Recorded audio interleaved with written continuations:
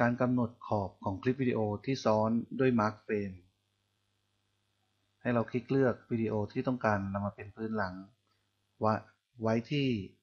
Video Track จากนั้นคลิกเลือกคลิปวิดีโอมาไว้ที่ Overlay Track ดับเบิลคลิกคลิปวิดีโอที่ Overlay Track คลิกเครื่องมือ Mark and Chroma Key คลิก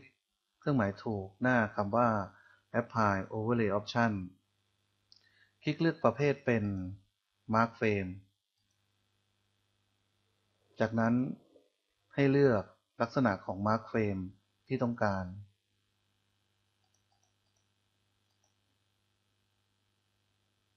คลิกที่ปุ่ม Project คลิกที่ปุ่ม Home คลิกที่ปุ่ม Play จะได้ผลลัพธ์ของคลิปวิดีโอที่มีขอบตาม Mask Frame ที่เราเลือก